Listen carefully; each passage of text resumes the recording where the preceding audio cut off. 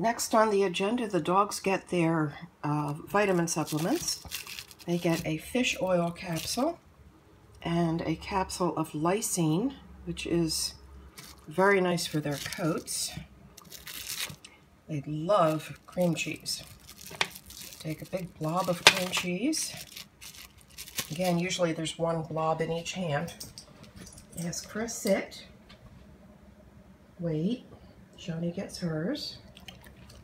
Sit to Toby gets his. Oh boy, is that good? And then we get to lick my fingers to clean off the fingers. And in a few minutes, we'll go for our walk.